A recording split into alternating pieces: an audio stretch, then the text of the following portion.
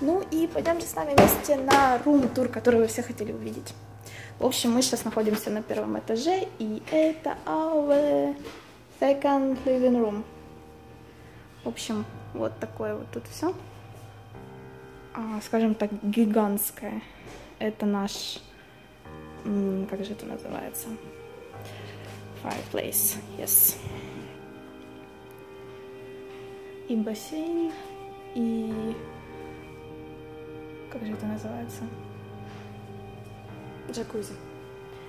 Открывается все легко и просто.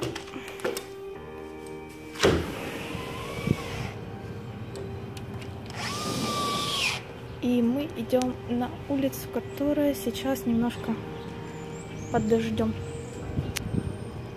Вот такая вот улица в Америке. Смежные такие домики, дворы.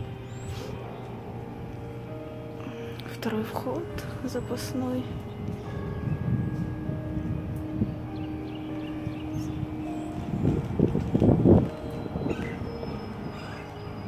А, еще я белку вчера тут видела, кстати.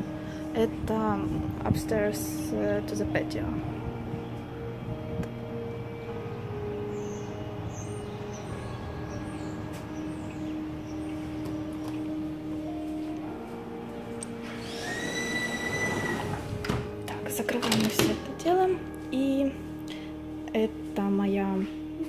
Вторая ванна, ну, то есть их две всего в доме, в квартире в доме. Это моя личная, а это мои покупки. В общем, я так быстро забегу, покажу как это все выглядит. Вот так это все выглядит. Стеклянные такие дверки. Такой вот душ. Это я. Это мой беспорядок. Я не хочу его сильно показывать. Потом у нас здесь вторая кухня. Ну, типа бар, не бар, всякое такое. Посудомоечная машина, холодильник и холодильник для вина. С этой стороны у нас типа кабинет.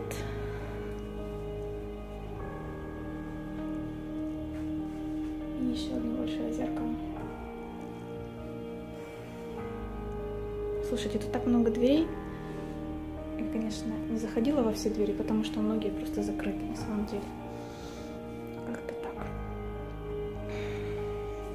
Я чувствую, что... А, кстати, время сейчас практически almost 9. Многие двери, кстати, закрыты. Идем наверх. And what next? Что дальше? Наша вторая жилая комната. Домик в основном, ну, мне кажется, стиль, как же правильно сказать, такой морской. Немножко стиль морской такой домик. И мне почему-то это нравится. Когда я посмотрела сериал, там был подобный домик домик чем-то напоминает тот, который был в фильме.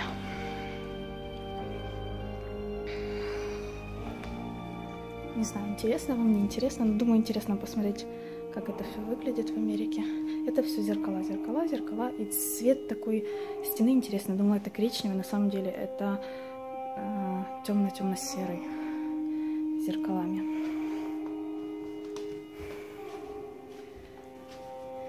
Двери часы и самая большая кухня. Door. Захотела. For barbecue.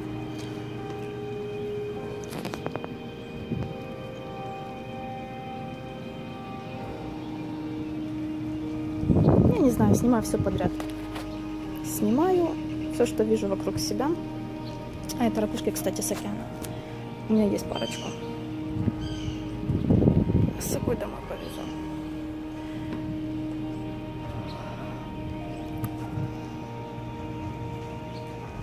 Все такое из дерева, все такое красивое.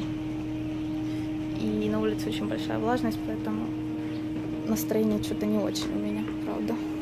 Тут классно, конечно, завтракать, когда весна уже будет такая нормальная, там, ближе к маю.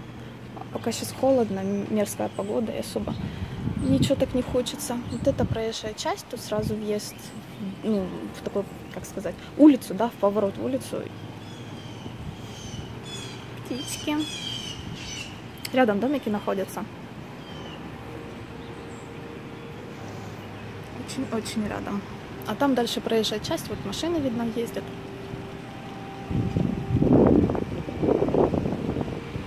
Это уже основное, как шоссе, не шоссе, как его назвать. И мы возвращаемся в дом. Что вам еще показать, рассказать? Осталось еще показать спальню. Хорошо, идем дальше. Следующее у нас а, вторая комната душевая была моя, а это именно душ вместе с ванной. Мне как-то нравится весь этот стиль, это все выполнено. Вода реально течет кипяток, ну, все как я люблю. И точно такие же фонарики, лихтарики, как у меня дома.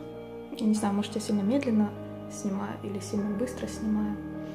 Почему-то, когда я приехала, тут было, мне казалось, что мало зеркал. На самом деле в доме очень много зеркал, и система розеток здесь вот такая вот. А это включатели выключатели на освещение. То есть можно яркость регулировать. Ручки обычные. Так, и мне определенно нравится цвет этих стен. Первая спальня выглядит таким вот образом.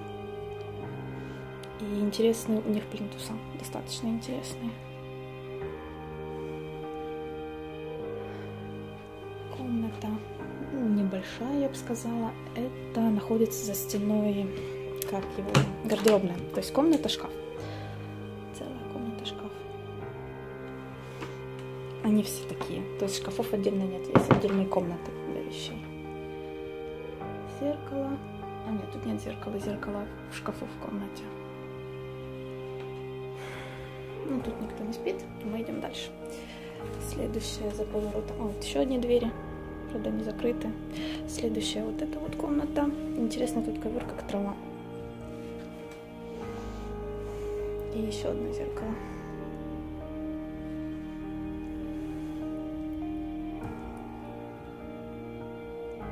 Я сначала думала, что дом похож на дачу, но на самом деле тут эти все вещи, оно так выглядит, все как-то неряшно, небрежно, но многие из них как-то так продуманные и действительно ну, стиль какой-то прослеживается, ну, не знаю, в этом не сильно разбираюсь. И розетки все внизу находятся. Вот. И еще, по-моему, один шкаф, да. С вещами, ну, все как обычно, как у всех.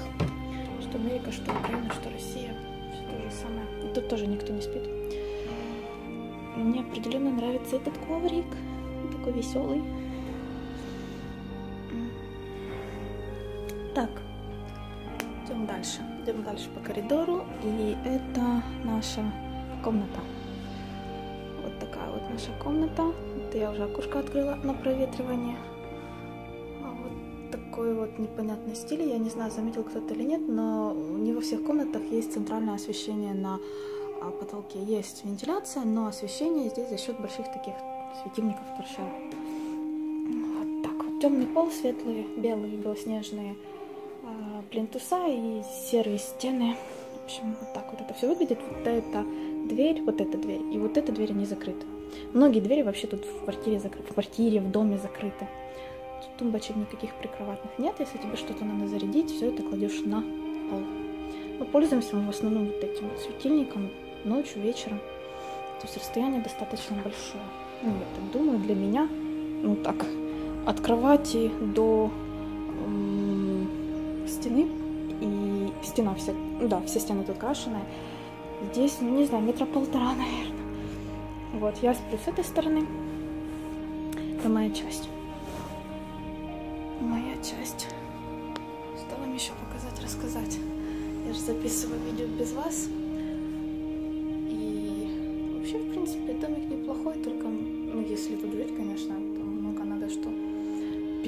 Под себя. Потому что даже кухня вначале вообще не знали, что, где, как пользоваться, и оно все автоматически, все работает вообще, как это называется, система умный дом. У меня есть приложение на телефоне, но что-то я как-то не рискую управлять всей этой дорогущей техникой через приложение. Лучше мы, ну, с первого раза не получилось, но со второго раза вот все прекрасно получилось, все работало. кровать, я хочу вам сказать, очень высокая. То есть, если я сижу, я еще не достаю до пола, и она как подпрыгивать надо, чтобы на нее залезть. Для меня. Но она очень огромная, большая. Вот. Ну, конечно, тумбочек не хватает. И все, кажется, я все показала. And the end. Вот такой вот домик.